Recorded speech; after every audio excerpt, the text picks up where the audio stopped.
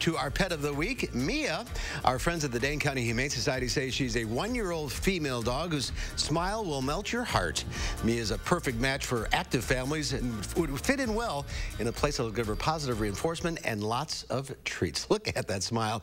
If you're interested in meeting Mia and seeing her infectious smile or checking out other animals at the Dane County Humane Society, go to giveshelter.org or set up an appointment at 838-0413. And our pet from last week, Tiger, was adopted. Hooray. So you can pick up a box of local treats now from Christine's Kitchen, and 25% of the sales will be donated back to the Dane County Humane Society. This is running from July 26th until August 8th. You can place an order at christines-kitchens.com starting July 26th. There's more information on the giveshelter.org website. Let's get Mia home.